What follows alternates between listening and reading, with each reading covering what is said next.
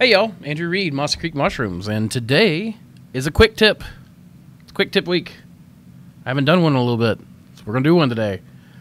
I'm guessing because of the mode modus operandi of Samantha these days that you probably already know what this video is about because it'll be on the thumbnail.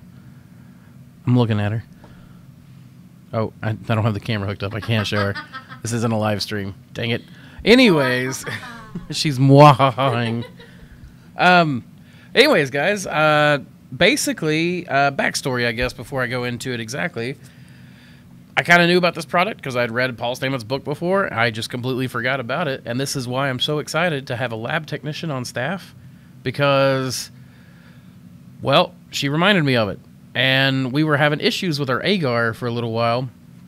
And just like not getting our autoclave to cook as well, one of our autoclaves to cook as well. And it ended up like making it to where we had to do a lot more petri dishes, agar dishes, to get the same amount of uh, uncontaminated ones that we needed. Very, very, brief moment. I mean, we were just about to ca- calibrate the autoclaves, anyways. But then Cheryl, the the new girl, says, "Hey, what about autoclave tape?" And here it is, autoclave tape. So I guess that's what this episode is brought to you by. Link in the description below. It is an affiliate link. Autoclave tape. Ooh, ooh, ooh, ooh. Let's try that again. I don't know how I'm gonna get it on there, but yeah. Okay, that's way more than we need. Okay, this is autoclave tape. It looks like masking tape. You may even be able to see from this distance, though I may already have you covered up with B-roll, that it has diagonal lines that run through it.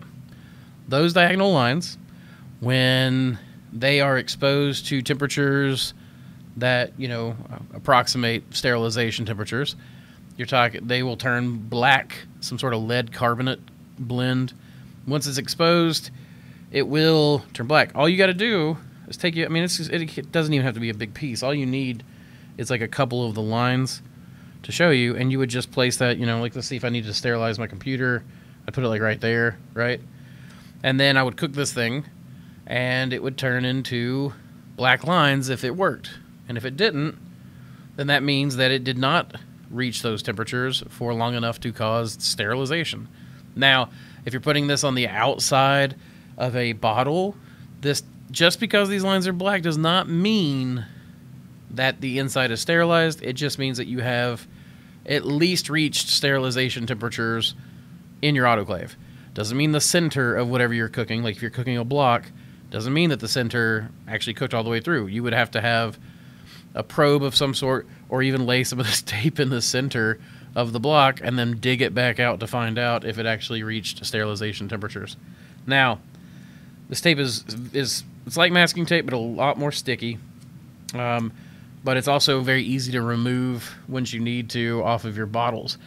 And all you do, take your little piece, you put it around, let's say, an agar flask, which is what the B-roll we've got to show you today, and you lay it across your your uh, agar flask. Then you set that in your autoclave.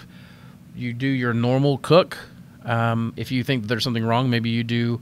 You know, our gauges we we bumped them up to 20 psi instead of the regular 15, just to uh, because we weren't turning the tape black. Um, and once we turned it up to 20, I've, I'll sh- will show you on the B-roll. It comes out with the black stripes. So it's a great little product. I mean, definitely. I mean, you could just increase your cook time, but this stuff's cheap. You can get like 300 yards for like 30 bucks on Amazon. Like I said, link below. Uh, that is an affiliate link. I do get a kickback for that, so appreciate that. Um, and I will say that I'm going to let the patrons know before I put this main video out because I have a bad habit of running people out of stock when I release a video on something. So, patrons, hurry up. Um, get ready, set, go. Um, that's that's pretty much it on this. Like, I, I really don't have anything else. Like, this is a very quick tip.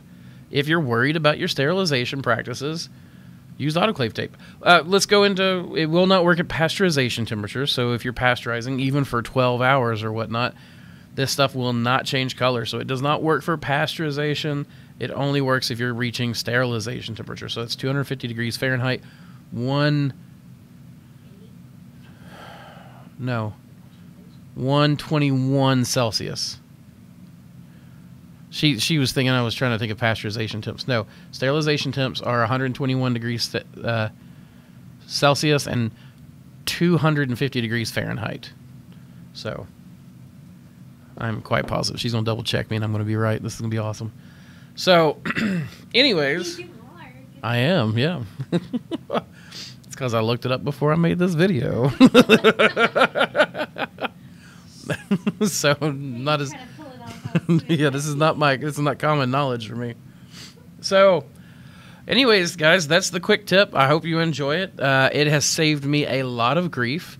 Um, Cheryl has saved me even more grief because, well, she's trained in microbiology and I was just fooling around. So, hey, Silver Leapers, if you're still watching my channel, you know how for like two years you kept saying this stuff you know like uh, actually this stuff won't work uh, if you're just growing anything other than white rot funguses?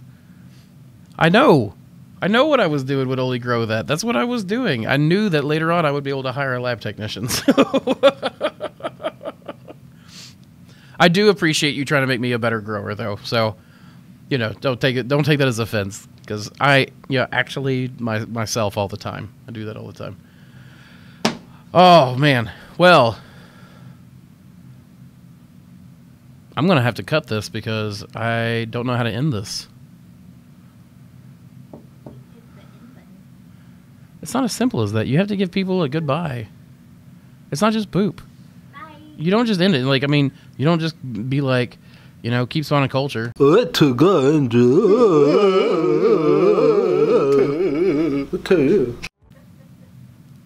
That tickled you.